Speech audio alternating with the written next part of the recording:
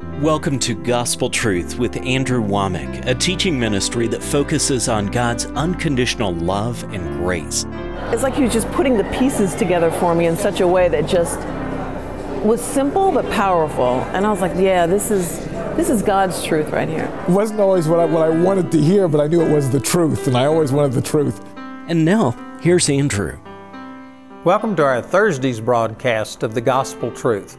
This week I've been teaching from Romans chapter 1 about the four things that you can do to stay full of God. Now, that's the title of this book and I've said this every day this week, but this is one of the most important things that God has ever shown me. I tell you, this is powerful. It has just transformed my life. And yet, this is not one of our uh, biggest requested teachings. I think it may be the title. You know, I'm anointed to teach the Word of God, but I don't have a special anointing for titles.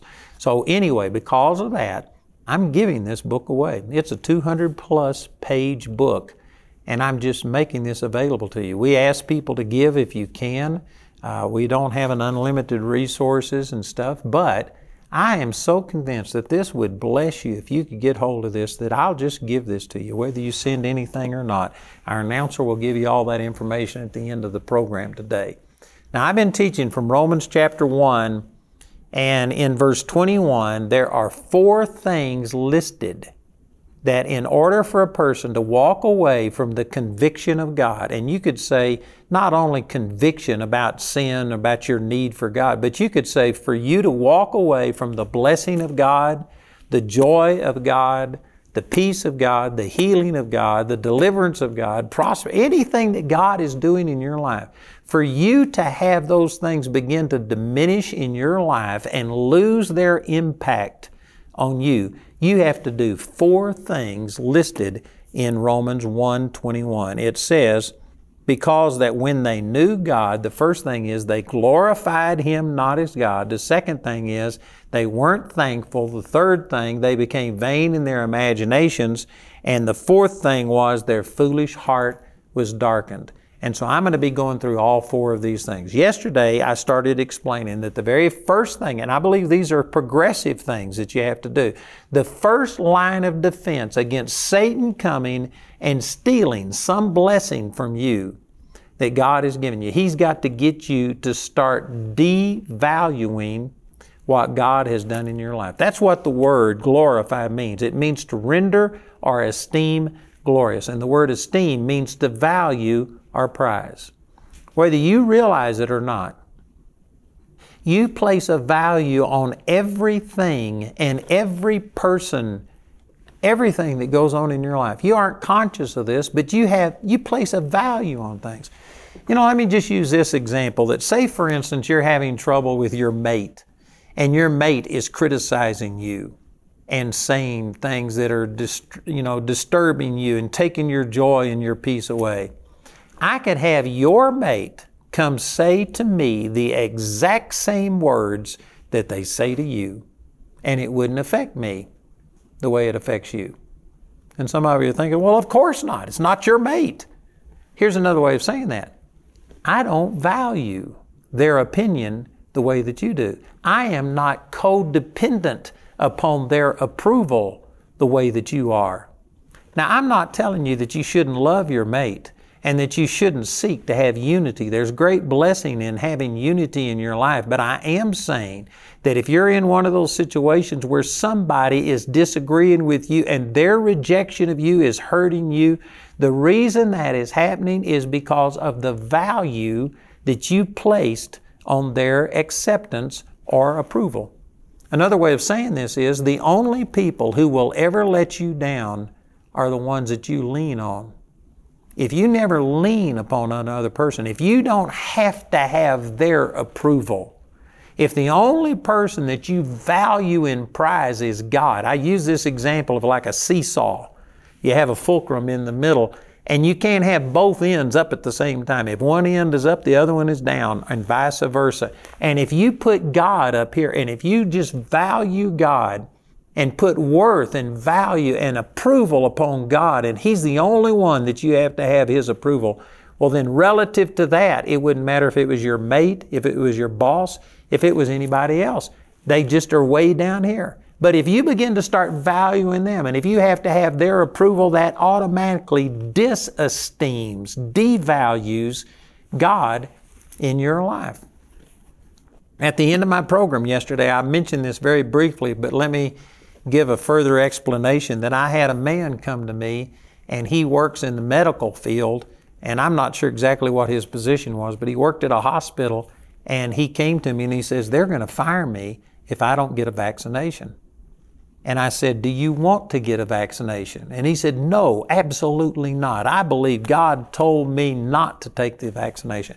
Now, we can discuss the vaccination, that's a separate issue. I personally believe that these vaccinations are hurting a lot of people. If you think that God wants you to take the vaccine, that's a whole nother issue. But this man said that he felt like God told him not to take the vaccine. And I said, Well, if he told you not to do it, then don't do it. And he says, But they're going to fire me. You know what it comes down to? Again, it's this thing about where do you put your value? What is valuable to you? Do you value God's word to you more than you value your job? Or if you value your job, they're going to fire me. And so therefore, God told me not to do it, but I'm going to have to disesteem, devalue what God says because I've got to keep this job.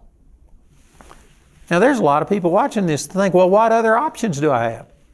Keep, do what God told you to do. Well, but they're going to fire me. Let them fire you.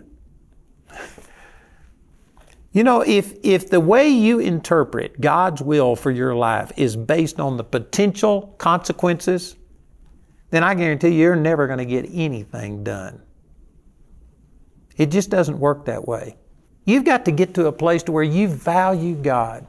And if God tells you to do something and it turns out being to your detriment, it doesn't matter. You value God more than anything else. You know, this literally happened with me. I've mentioned this week about that experience I had March the 23rd, 1968, and God poured His love out in my life.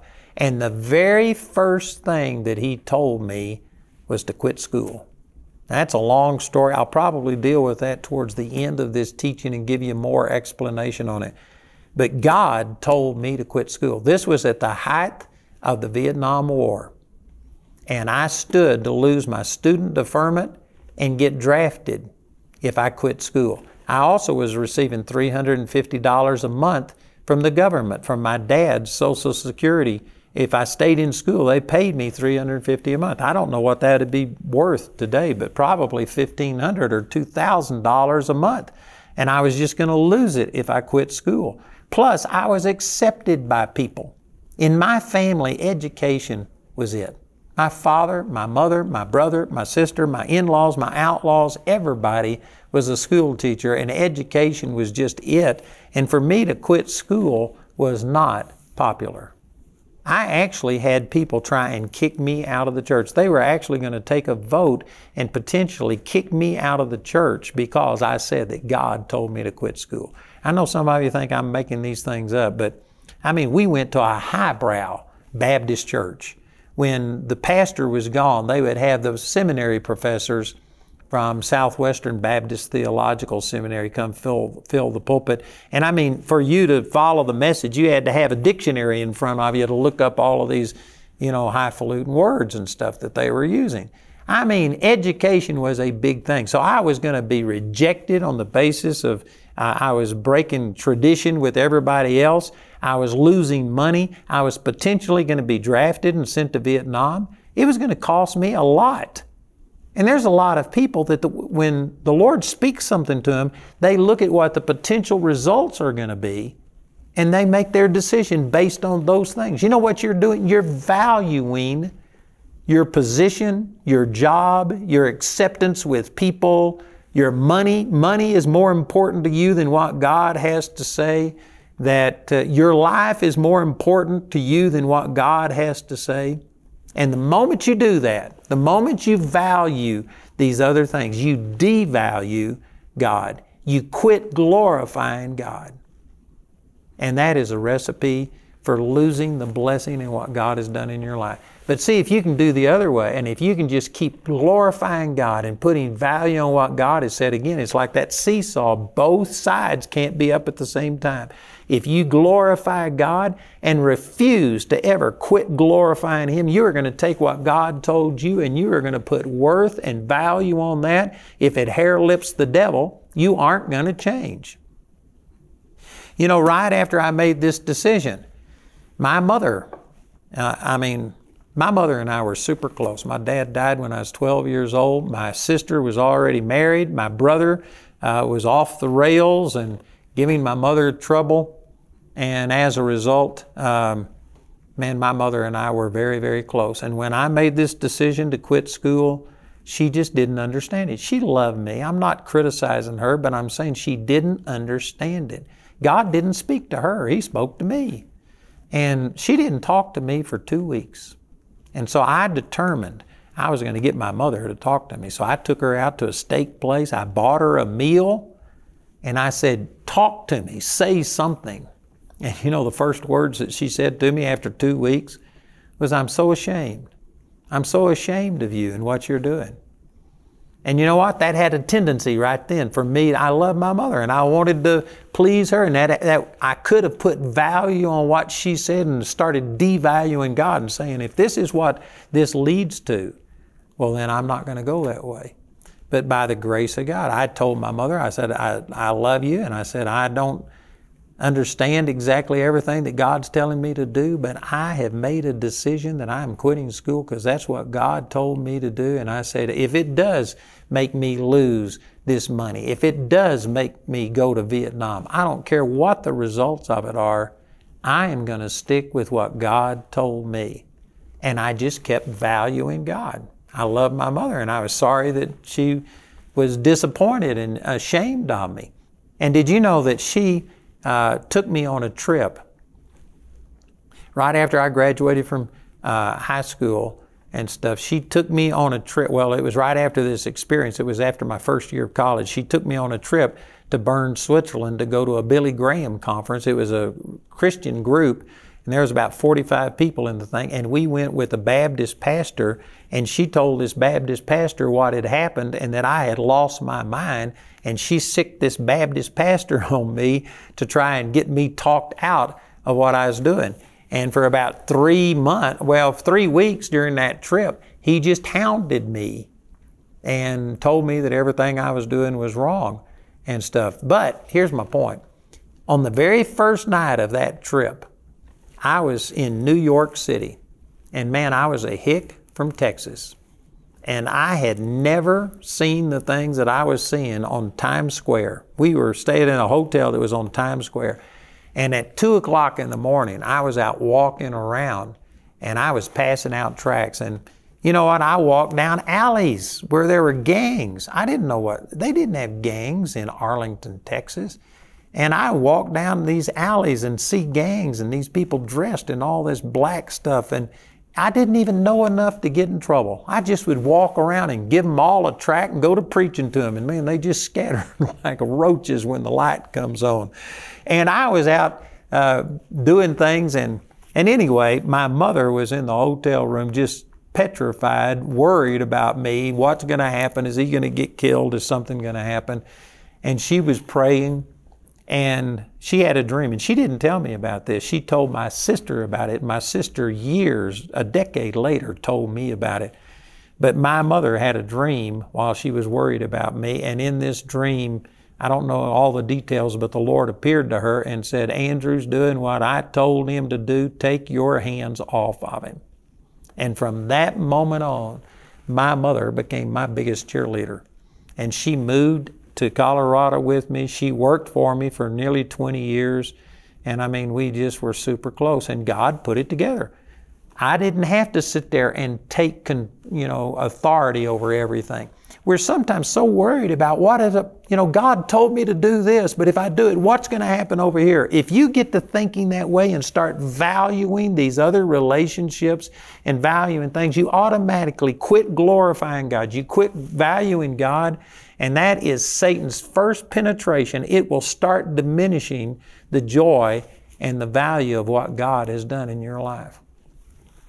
Because I stood against the religious people in my church, because I stood against even relatives who didn't understand what I had to say, and I just kept valuing God, I guarantee you I have never lost the joy and the benefit of what God has done. And you know, not long after that, not long after I quit school, they sent me for a physical, a pre induction physical, and uh, for the Army. And I went over and passed this physical. And so a recruiter came to my house. I was there by myself. My mother was a teacher, she was teaching school, and I was there during the day by myself. And a recruiter came to the house and he knocked on the door, came in, sat at our dining room table, opened up his briefcase, put out all of these pamphlets, and started showing me all of the benefits of joining the Army versus being drafted. And he says, I can't guarantee it, but you might be able to go to Korea or some other place other than Vietnam. And of course, it was going to be instead of a two year enlistment, if you get drafted, it was going to be a three year enlistment. And anyway, he started just making all of these points. And I just told him, I said, I can save you and me both a lot of time. And he says, How's that? And I said, The reason I got listed as 1A and then I was sent for a pre induction physical is because I quit school. And he said, That's right. And I said, But see, God told me to quit school. and when I said that, I could just see this smirk come on his face. And I went on to say, and I said, So if God wants me drafted, I'll be drafted, and if He doesn't, I won't. I said, I'm just doing what, see what I was doing. I didn't say in these words, but I'm glorifying God. I'm valuing God. God spoke to me, and I don't care what the results are. I don't care if it sends me to Vietnam. I don't care if I get shot at. I don't care if I get killed. I would rather do what God says than anything else. And when I said that, this recruiter just broke out laughing. And he says, Boy, I can guarantee you, you are going to Vietnam. And when he said that, you know what it was? Here I was valuing God. He didn't value God at all. To him, God was way down here, and he was representing the U.S. government. He didn't place any worth, any value on God at all. And it made me mad. This was Satan trying to get me to devalue what God had told me to do. And it made me mad that somebody else didn't put, put the same value on God speaking to me that I did. And so here I was. By that time, I think I had turned 19 years old. And here this guy was probably 30 something years old, a representative of the United States government. He was authority and I was nobody. But man, I had a word from God. I was valuing and prizing that. And it made me mad. I put my finger in this guy's chest. I was poking him like this. And I said, Buddy, God spoke to me and told me to quit school. I'm doing what God told me to do. And I said, if God doesn't want me drafted, I said, you or the United States government or every demon in hell can't draft me.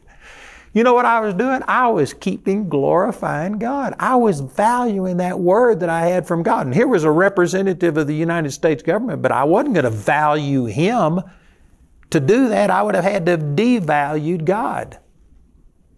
And this guy, he never said a word. He just gathered up all of his stuff, put it in his briefcase, and walked out and never said a word. And did you know the very next day I had my draft notice in my mailbox. And I didn't think about it then, but I wished I'd have looked to see if it had a postmark on it. I think that this guy probably went down and processed my stuff personally and drafted me and put the draft notice in my mailbox. I don't know for sure, but it doesn't matter because what I was saying was true. I valued God. And I didn't value a recruiter, a person who was representing the United States government. To me, God's Word is more valuable than anything that the devil could throw at me. And if it would have cost me my life in Vietnam, I was in some places where I should have died. I was actually, I was a chaplain's assistant and I was driving the chaplain one time and we were stopped at a light back in the rear area. I was driving a, a little open uh, Jeep and we were parked behind a water truck and a deuce and a half came around the corner too fast and he lost control, got up on two wheels and he was coming straight for us. And we were parked in between this uh, water truck and a car that was behind us. There was nowhere to go, there was no way to escape. And I mean, at the last moment, this thing hit a chug hole and it uh, knocked it into the water truck, and the chaplain and I were totally doused in water, but we weren't hurt at all. I had, uh, man, I could just tell you, there were so many times that I should have died, and yet God just took care of me, and I wasn't afraid because I was valuing God's Word. For you to fear what you're doing is valuing these other things. You're valuing your life more than you value God. You know, the Apostle Paul in Roman, uh, Philippians chapter 1, he said, For me to live is Christ, and to die is gain. To die is even better. He says, I'm in a strait between two. I'd rather go be with the Lord, but it's more necessary for you that I stay here. You can get to a place where you value God. You value your life in God. You value eternity more than you value your job, more than you value these financial things, more than you value the acceptance of other people. This is how I live my life. I place value on what God says more than anybody or anything else. And I know that there's some people that would criticize me for that. Well, you're supposed to value all these other things. I don't. And because of it, I'm in my 54th year since the Lord touched my life, and I tell you, it has just, it has transformed me. It's changed everything in my life. And, brothers and sisters, I'm telling you on the authority of God's Word that this will work for you too. If you've ever received anything from the Lord, you put value on that, and relative to what you place on God, everything else, let every man, everything be a liar. You value what God's Word says. And it's something that you have to do consciously. It can't be done accidentally. But I promise you, if you would follow through with these steps that we're talking about, I promise you it would keep the things that God has done in your life fresh. It would keep the love of God, your awareness of the presence of God, your joy, your peace, your finances, all of the blessings, all of these things, they'd be fresh in your life. It's not God who determines whether or not you're full of Him or not. He lives on the inside of you in His fullness, but it's your focus and what you value that determines what is going to dominate your emotions and your experience. I tell you, if you can understand the things I've talked about today, this would answer a lot of questions for people. Again, I want to encourage you to please get this book. I'm having to break this teaching up into little 30 minute segments. This book would make an impact on you. I believe it would make a huge difference in your life. You need to get this. You need to be able to study it, and you also need to get this so you can give it to somebody else. We're making it available to you as a gift. We encourage you to give. We need people to give if you can. I encourage you to do it, but I want you to have this so much, I'll give it to you as a free gift. You can also go to our website and you can get free downloads of my CDs or DVDs teaching on this, and we also have a study guide that is specifically made so that you can disciple other people in this same teaching. So listen to our announcer as he gives you the information about how to receive these products, and please call or write today. You say, in the name of Jesus, I'm not going by what I see. I go by what the Word of God says. There's more than just this physical realm, there's also a spiritual realm. I don't care what this looks like, I know what God's Word says. I was told that I would always have severe asthma and food allergies. I was born missing the left side of my heart with a very small chance of living. The doctors indicated that I had a permanent brain injury and that I would never function in mainstream society again. I'm Tim McDermott, and my brother and I were told that we would never recover from autism. From a young age, I had several diagnoses, including Asperger's syndrome, dysexecutive syndrome, and communication disorders. My brother James was diagnosed with autism before he turned three. For years, it seemed like we would never be normal. But then my parents stumbled across the healing journey of Hannah Teredes. A few weeks later, we went to Andrew's free Grace and Faith conference, where we were healed of autism.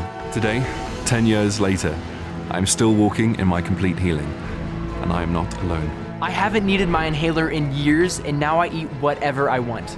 My heart grew back its missing piece, and the doctors cannot explain it. Today, I'm completely healed, and I get to teach God's truth about healing. Because people like you partnered with Andrew Wommack Ministries, we have all been given our lives back. We cannot thank you enough for your generosity. But there are still millions of lives out there looking for the same truth that set us free. Will you help us bring this message to them? The word needs to get out to change people's lives. Please consider a partnership. Please partner with this ministry. It's amazing. Please consider being a partner with this ministry. You know, you may not know these people, but I know every one of these people that you just saw them give a testimony. And I tell you, Jesus changed their life because of our partners. If you've not yet joined with us and become a partner, I ask you to pray about it and join with us today. I want to let you know that we have now started a Charis Daily live Bible study. We've been doing a Bible study every Tuesday night live for about two years, but now we have five days a week. We've varied the times so that we can accommodate anybody's schedule, and it's going to really be good. We're going to use our instructors from the school, and it'll be a blessing. So remember, we now have a Charis Daily live Bible study five days a week. Learn the essentials to having a strong relationship with God when you get Andrew's teaching, Discover the Keys to Staying Full of God. Today, Andrew is offering his book as a gift to you absolutely free. This offer is limited to one free book per household and is available in the US, UK, Canada, and Australia. Contact us today to receive this free offer. Andrew's entire series is available in a book, study guide, or as a CD or DVD album made from our daily television broadcast. Each of these valuable resources is available for a gift of any amount when you contact us. This entire series is also available for audio download absolutely free from our website. Andrew is offering these products as part of the Discover the Keys package. This package includes the book, study guide, and your choice of either a CD or DVD album. The Discover the Keys package has a catalog value of $80, but it can be yours today for only $60. Go to awmi.net to see all the ways you can get this teaching. We also want to remind you of Andrew's Living Commentary software. The Living Commentary includes more than 50 years of Andrew's Bible study notes and personal encounters with God. Get Andrew's Living Commentary today for $120. You can become a Grace Partner through our website at awmi.net. While there, you can discover more product details and download additional free resources. You can also order resources or receive prayer by calling our helpline at 719 635 1111. Our helpline is open 24 hours a day, 7 days a week. To write us, use the address on your screen. We appreciate your generosity and hope to hear from you today. I want to let all of our English speaking audience know that we are beginning broadcast in Spanish, and I believe that this is going to be a deal changer for many people. We've had a huge response to the English program, and this is our first time to really be broadcasting in Spanish like this, and we need people to help us. If you would like to help us establish this ministry to the Spanish speaking world, I encourage you to go to our website. There will be information on the screen. Join with us and help us start the Spanish speaking broadcast of the Gospel Truth program.